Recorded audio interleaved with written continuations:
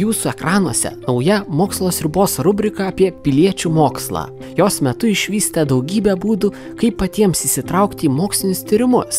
Sužinosite, kaip pačių surinktų duomenų pagalba rūpinti savo aplinka ir sveikata.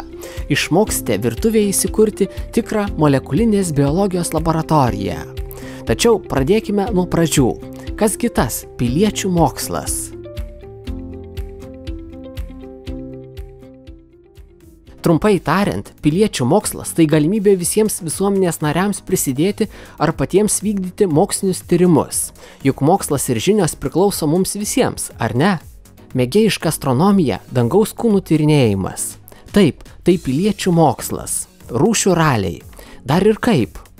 Panašių projektų pavyzdžių yra devynios galybės, o į juos visame pasaulyje įsitraukia milijonai dalyvių. Kita vertus, mėgėjų įsitraukimas į mokslą nėra visiškai naujas dalykas. Ko gero, ne kiekvienas susimastome, jog mokslininko profesija atsirado visai neseniai.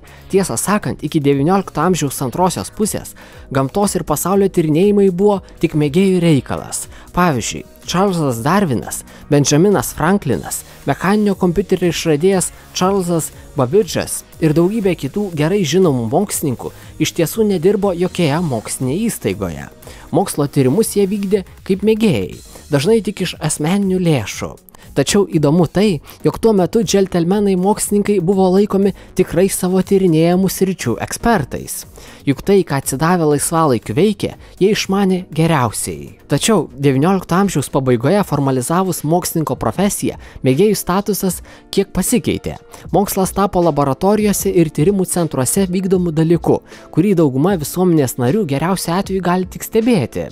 Vis dėlto panašu, jog 21 amžius žada visą tai vėl apversti aukštyn kojomis piliečių mokslas pasaulyje plinta ypatingai sparčiai. Tiesa, šis terminas vienyje gausybę skirtingų būdų. Neprofesionaliems mokslininkams tai yra kiekvienam iš mūsų įsitraukti į mokslą. Norėdami sužinoti daugiau, pakalbinome žinomą piliečių mokslo tyrėją Muki Haklei. So, citizen science is, is actually a term, a Piliečių mokslo terminas vienyje daugybę skirtingų dalykų ir veiklų. Nuo pasidaryk pats mokslo, pavyzdžiui, biohakinimo, kurio būdu žmonės patys tyrinėja biotehnologijas, iki savanoriškos kompiuterijos, kai tam tikrų programų pagalba galima skirti neišnaudotus savo kompiuterio resursus moksliniams tyrimams. Ir bioįvairovės tyrimų gamtoje, stebėjimais dalinantis su mokslininkais. Tačiau ar šiais pažangiųjų technologijų laikais profesionaliems mokslininkams tikrai reikia piliečių pagalbos? Tikrai taip. Žmonės gyvena, dirba ir keliauja pačiose įvairiausiose vietose. Todėl mokslininkams jie gali pateikti duomenų iš savo gyvenamosios aplinkos.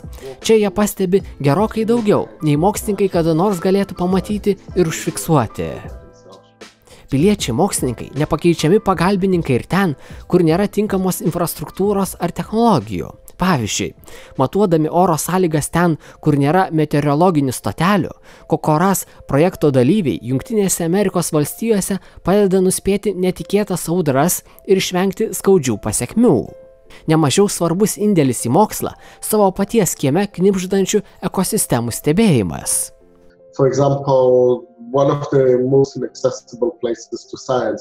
Viena iš mokslininkams mažiausiai pasiekiamų vietų yra gyvenamųjų namų kiemai. Gauti leidimą patekti ir dirbti privačiose teritorijose labai sudėtinga ir užtrunka daug laiko. Tačiau piliečiams mokslininkams į savo kiemą patekti visai nesunku. Tiesa, yra ir daugybė projektų, prie kurių prisidėti te reikia turėti kompiuterį ar išmanųjį telefoną. Pavyzdžiui, Zuniverse platformoje yra apie šimtas skirtingų projektų, kuriuose galite padėti mokslininkams analizuoti įvairius duomenis. Galaxy Zoo projekte klasifikuojate galaktikas pagal jų formą. Penguin Watch projekte skaičiuojate į tyrėjų objektyvą patekusių pingvinų skaičių. Tuo tarpu Old Weather projekte šifruojate istorinių laivų žurnalus, kurie padeda atskleisti tuo metu vyravusias oro sąlygas. You can say that it's gone global. Anyone Galima sakyti, jog piliečių mokslas globalus reiškinys. Kiekvienas turintis prieigą prie interneto dabar gali prisijungti prie piliečių mokslo projekto. Žmonės gali prisidėti prie iniciatyvos vykdomos Junktinėse Amerikos valstijose, net jei jie yra Vilniuje ar bet kur kitur. US sitting in uh, or anywhere else. Taigi, nors klausytis apie mokslą iš ties įdomu, dabar mokslininku galite tapti ir jūs. Daugiau apie piliečių mokslą bei skirtingas iniciatyvas, į kurias galite įsitraukti ir jūs, papasakosime kitose rubrikose.